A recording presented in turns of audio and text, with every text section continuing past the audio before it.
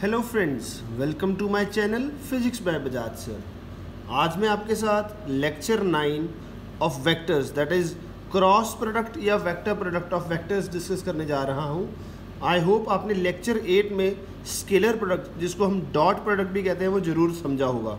ये उसका further extension है that is called cross product right दो वैक्टर्स को जब हम मल्टीप्लाई करते हैं और उनका आंसर भी वैक्टर आए तो उसको बोलते हैं क्रॉस प्रोडक्ट जैसे मैं एग्जांपल ले रहा हूँ A vector cross B vector ये क्रॉस का साइन है A vector cross B vector equal to C vector ये एक वेक्टर है राइट सी वेक्टर कैसा होगा?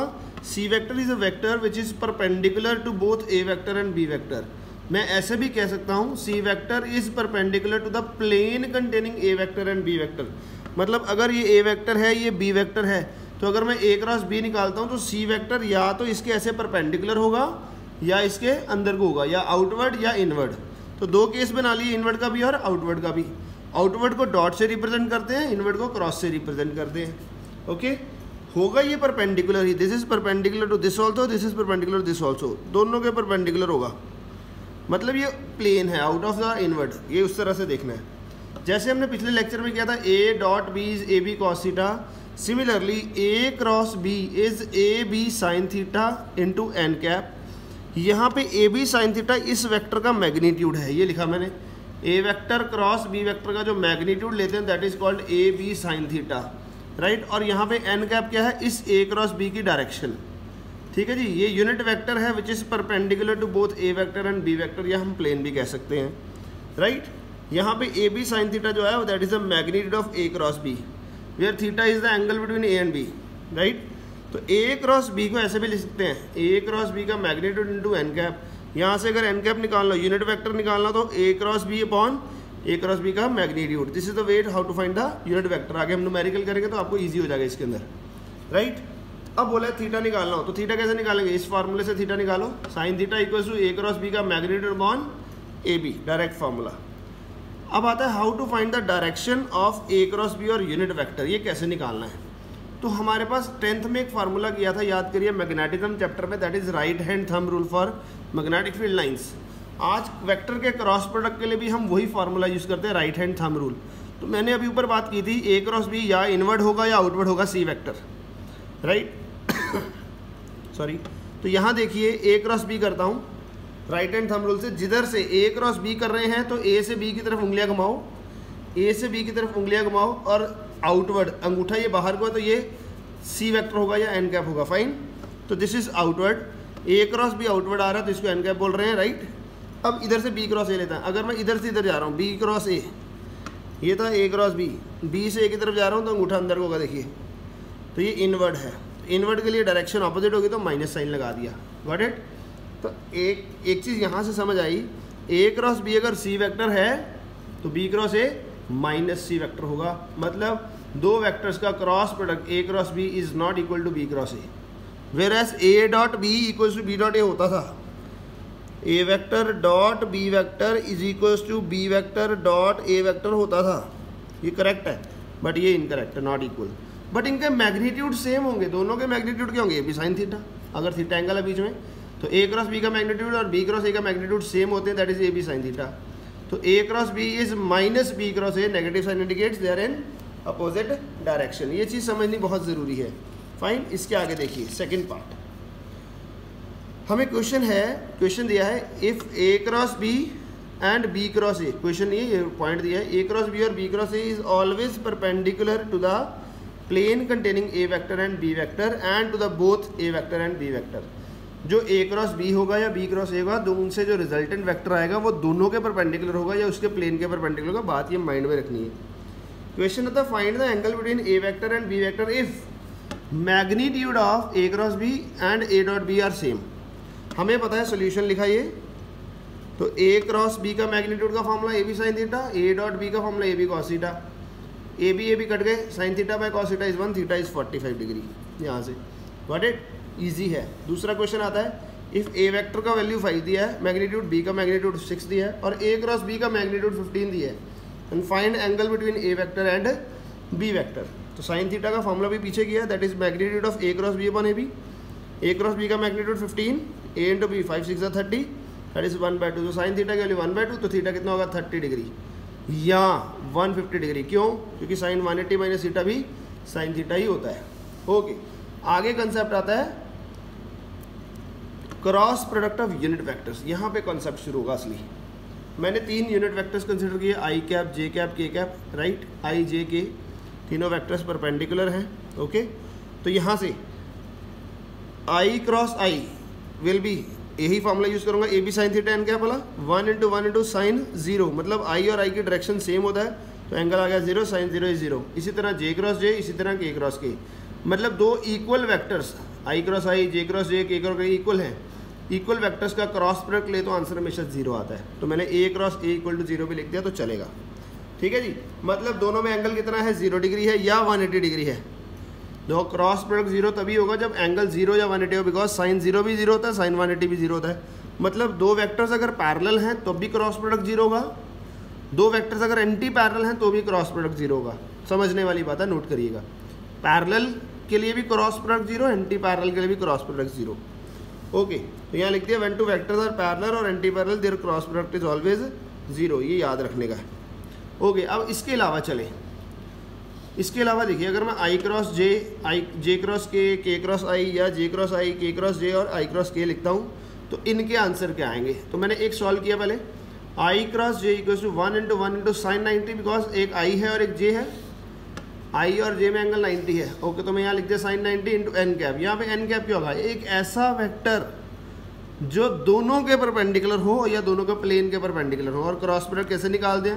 That is right hand thumb rule मैं राइट हैंड थम रूल यहाँ पे भी यूज़ करूँगा, देखिए। तो ये आ गया आई एन कैप मैग्नीट्यूड तो वन आ गया। एन कैप की डायरेक्शन बता रहा हूँ जी। आई क्रॉस जे आई से जे की तरफ़ जाना है जी। उंगलियाँ घुमाएँगे अंगूठा बाहर को। तो ये अपवर्ड है तो अपवर्ड के लिए that is plus K cap तो यहाँ लिख दिया प्लस के कैप और यहाँ पे उल्टा हो जाएगा जे क्रॉस आई, उल्टा चलेंगे तो माइनस के कैप फाइन अब ये बार बार ऐसे नहीं करेंगे। हमारे पास एक शॉर्टकट मेथड भी है ये वाला। हमने लिखा आई जे के आई से जे मतलब आई क्रॉस जे किया तो उससे अगले वाला आंसर ये देखिए। आई क्रॉस जे किया तो उससे अगले वाला आंसर जे क्रॉस के किया तो उससे अगले वाला आंसर के क्रॉस आई किया तो उससे अगले वाला आंसर समझे? तो ये अगर क्लॉकवाइज जा रहे हैं तो आंसर पॉजिटिव होंगे। अब मैं उल्टा शुरू एंटी क्लॉकवाइज एंटी क्लॉकवाइज में कोई फ़र्क नहीं पड़ेगा। जैसे जे क्रॉस आई किया तो आंसर के ही होगा बट विद नेगेटिव साइन तो मतलब अगर क्लॉकवाइज जा रहे हैं तो पॉजिटिव और एंटी क्लॉकवाइज जा रहे हैं तो नेगेटिव साइन लगा देना बस। तो ये सारे वेक्टर्स हमने सिर्फ़ इसी से बना दिए। समझ रहे हो? क्लियर है? तो ये प्लीज़ नोट करिएगा। फाइन ओके जी, आगे देखिए। आगे आता है cross product in rectangular components ये डॉट प्रोडक्ट भी किया था क्रॉस भी करना है। बड़ा इंपॉर्टेंट है, देखिए। अगर ए वेक्टर है A X I cap A Y J cap A Z K cap and B vector है B X I cap B Y J cap B Z K cap तो ए क्रॉस बी निकालना है तो A cross B का formula ये लिखा cross B vector एक को तीनों के साथ, दूसरे को तीनों के साथ, तीसरे को भी तीनों के साथ। तो टोटल बन गए नाइन टर्म्स हमें तो मैग्नीट्यूड तो लिख दिए बट यहाँ पे कहेगा I cross I I cross J I cross K उसी तरह J cross I, J cross J J cross K. K cross आई, के क्रस जे, के क्रॉस के। हमें पता है आई क्रॉस आई, जे क्रॉस जे और के क्रॉस के क्या होता है? ज़ीरो। ये तो पीछे भी किया। तो ये तीनों टर्म्स खत्म हो गई। तो यहाँ से किया, आई cross J is K, I cross K is minus J J cross I is minus K, J cross K is I, K cross I is J, and K cross J is minus I. तो जब इनको combine करके लिखा तो हमारा cross product बन गया ये। A cross B is equal to A Y B Z into minus A Z B Y equal to I cap into I cap plus A Z B X minus A X B Z into J cap plus bracket A X B Y minus B Y X into K cap ये हमारा vector product बना। A cross B का answer I J K की term में आ रहा तो ये vector है। ठीक है जी, अब ये शॉर्टकट मेथड भी है मेरे पास, जिसको हम डिटर्मिनेंट मेथड बोलते हैं। शॉर्टकट मेथड है। ये ऊपर से इतना बड़ा कैसे करेंगे? जब भी करना यही मेथड नीचे वाला डिटर्मिनेंट मेथड फॉलो करेंगे इससे एक स्टेप में आंसर आ जाता है जी। एक ए और बी वैक्टर लिखे। अब ध्यान से देखिएगा। ए क्रॉस बी ये डिटर्मिनेंट का साइन लगाया, अंदर लिखा आई जे के आई जे के अगर ए क्रॉस बी है तो पहले ए वाले components A X A Y A Z B X B Y B Z ठीक है, यहाँ पे लिख लेना प्लस माइनस प्लस अब बहुत इंपॉर्टेंट है, ध्यान से देखिएगा। मैंने ए क्रॉस बी निकालना तो पहले ही ब्रैकेट लगा लिए। आई कैप ऊपर माइनस लगा तो माइनस लगा के ब्रैकेट जे कैप ऊपर प्लस लगा तो प्लस लगा के के कैप ब्रैकेट पहले लगा लीजिए। अब ध्यान से सुनिएगा, ये ब्रैकेट के अंदर ये चीज़ें कैसे आई तो अगर मैंने आई कैप वाली ब्रैकेट सॉल्व करना है आई कैप वाली अगर ब्रैकेट सॉल्व करनी है तो आई कैप वाली रो और आई कैप वाली कॉलम को भूल जाइए। ये ऐसे और ये ऐसे। ये कुछ नहीं दिख रहा मुझे अब। मुझे सिर्फ़ चार चीज़ें दिख रही हैं। A Y B Z B Y A Z तो मैंने क्या किया? ये बाकी सब चीज़ें भूल गए अगर? अगर ये चीज़ें भूल गए, ठीक है जी? अगर ये चीज़ें भूल जाएँ आप, ये वाली तो क्या करेंगे? देखिए, ये कैसे आया? ए वाई को बी जेड से मल्टीप्लाई किया क्रॉस मल्टीप्लाई करना है। टेंथ में किया था लीनियर इक्वेशन में क्रॉस मल्टीप्लीकेशन मेथड आया यार लीनियर इक्वेशंस को सॉल्व करते हुए। आज भी वही है। ए वाई को बी जेड से किया, कर दिया। माइनस का साइन लगाना ही लगाना, फिर नीचे से ऊपर, पहले ऊपर से नीचे देन माइनस नीचे से ऊपर, फिर दूसरी ब्रैकेट जे कैप वाली लाइन भूल जाओ अब। तो दिख क्या रहा है? ए एक्स बी जेड पहले ऊपर से नीचे देन माइनस का sign B X A Z समझ रहे हो? जे कैप अब के कैप वाली ब्रैकेट खत्म करेंगे। ऊपर वाली लाइन तो बिल्कुल ही खत्म होगी ना। ए एक्स बी वाई नीचे से ऊपर minus B Y A X समझ रहे हो? तो इसको थोड़ा सिंप्लीफाई करके लिख दिया। ये चीज़ समझ आई? तो मैंने यहाँ क्या लिख दिया? जिस डायरेक्शन वाली ब्रैकेट को सॉल्व करना है, उसी डायरेक्शन की रो और कॉलम को भूल जाओ देन अप्लाई क्रॉस मल्टीप्लीकेशन और क्रॉस मल्टीप्लीकेशन मेथड में याद रखना है, जब ऊपर से नीचे आना है तो प्लस नीचे से ऊपर जाना तो माइनस लगाना ही लगाना है। गॉट इट क्लियर है? ओके जब इसकी एप्लीकेशन सीखते हैं। अप्लाई कैसे करना है? देखिए, अगर ए वेक्टर दिया हुआ है two I cap plus three J cap minus two K cap and B vector दिया हुआ I cap plus two J cap plus three K cap and find करना magnitude of A cross B पहले A cross B निकालेंगे, बाद में उसका magnitude right A cross B के लिए आई जे के लिखा? पहले ए करना है तो ए के component two three minus two with sign लेने होते हैं जी। यहाँ पे one two three one two three B के। प्लस माइनस प्लस ब्रैकेट लिखा प्लस का माइनस लगा के ब्रैकेट जे का ब्रैकेट लगा के जे का के का प्लस का। तो अब देखिए, ये वाली लाइन तो पक्की भूल जानी है। ये लाइन भूल गए। ये वाली भी भूल गए आई की ब्रैकेट के लिए। थ्री थ्री ज़र नाइन माइनस का साइन पहले लगेगा, फिर टू टू ज़र माइनस फोर बोलो, ठीक है? ब्रैकेट ख़त्म। अगला जे के लिए, ये भूल गए टू थ्री ज़र सिक्स